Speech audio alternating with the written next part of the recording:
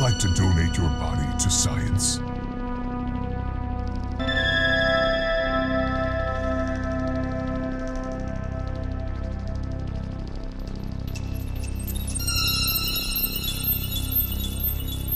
Hmm, now you are the endangered species.